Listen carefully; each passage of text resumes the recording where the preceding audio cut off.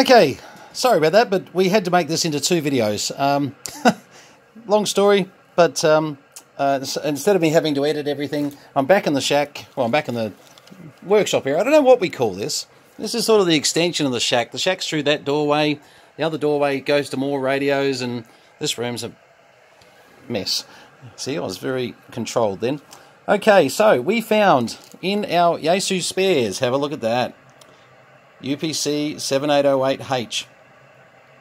So, without um, uh, too much uh, time, uh, didn't take too much time, sorry.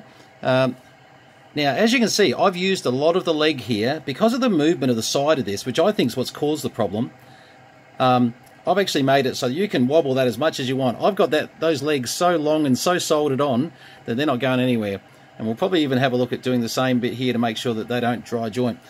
The theory is that I think that 7808, because of that dry joint that was there, it's just arced and it's died. Um, here is one dead 7808. Um, and uh, it's um, here's what it is. So, I suppose let's first put a receive signal in. I haven't even tried this yet, but I'm, I'm hopeful. Ah, look at that. Look at that. Look at that. Look at that. That's good news. So, I'm putting an FM signal into it with about 5 millivolts, so we'll take that down a fair way. 0.5 of a microvolt there. Sorry about that. Uh, righto, uh, 0.5 of a microvolt. This is good news.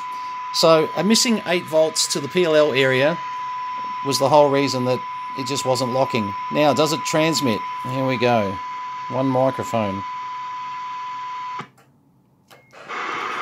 Okay. Turn that noise off. So we'll go to silence here. What have we got on FM? Let's have a look. One, two, three. It's got a beep on it, hasn't it? I can hear the beep. Okay, that would drive people nuts. One, two, three, four, five. Okay, so we've got eight watts coming out of it. Um, can't hear anything yet though, so there's no more mic audio. Mic gain's probably down or something. No, no, we'll have a look at that in a minute. Um, let me just check that. Uh, yep. So we'll have to find out um, why no mic audio. Could be something simple like a mic, could be a lot of things. Quickest way we can check that, let's go to sideband and see does it modulate on sideband, one, two. Okay, so so looking a little bit like um, like we've got to turn off this Roger beep. Where is this button that says beep? um, Roger beep. Oh, thank goodness. That's better. Um, yeah, okay. So now we've got a radio that's got a PLL functioning. It's receiving, it's transmitting, it's transmitting some carrier at least. Still haven't got mic, mic audio yet. So I fortunately have my friend's microphone down here I can just steal for a second. Let's go plug it in. And the good news, one, two, three, four, five. It's a mic problem. Let's go back to FM. And let's go to FM there. Let's have a look what we've got. One, two, three, four, five. One, two, one, two.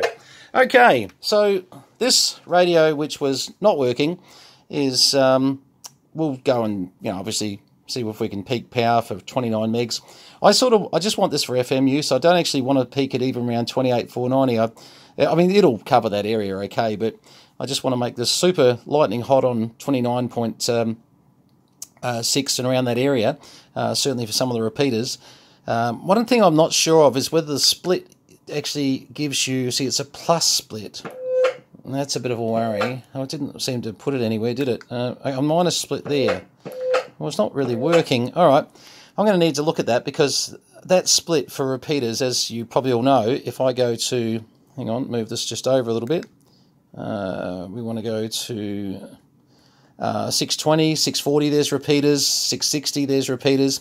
But of course, we want it to go to, to lose 100 kcs, um, which it's it's not doing at the moment. Um, um, now, some of the problems with uh, these radios, as you saw, they um, have where their range goes, you know, 30, 31s, 26, 27, 28, blah, blah, blah. Um, so the issue when you do that, sometimes, and look, I'll have to check this. I, I don't want to quote be quoted here just yet, but sometimes when you do that, you lose these features. Um, some of the um, the split features don't work like they used to. So our next job will be converting this back to absolutely standard. So for me, I'm happy for it to do 28 to 29.7, and that'll do what this radio needs to do. It doesn't need to do anything outside of it, but it, it does need to do the split uh, for the um, uh, for the 100 kc split. It just makes my life real easy working repeaters. And, and, what I want to do is have it on a 10 meter vertical, and just sit there, you know, on a couple of the repeaters, and even our own. We've just put up our own local repeater. Well, when the sorry, the throws are putting up our own local repeater with the uh, uh, Northeast Victorian Amateur Radio Club, and you know, it'd be great to be able to dedicate it to that. So that's the idea. Um, so you can really do a lot with these little radios. Um, we'll get the power up on this uh, this part of the band. I can almost put money on where the power will be centered at the moment, but we'll fix that, and uh, she'll be good. But there you go. Um, transmits, does what it needs to do. One, two, three. No, hang on. Sorry, turn the volume down. It doesn't matter. That's okay. You get the idea. Uh, plus, you wouldn't have heard me there either. It's not the volume, sorry. One, two, three. I was on 660, not 600. Righto. But um, yeah, and hopefully we can get a few more watts out of this just on um, uh, 29.6 FM, and we'll be pretty happy with it. So there you go. There's an easy fix over two parts to a radio that had no receive, no transmit.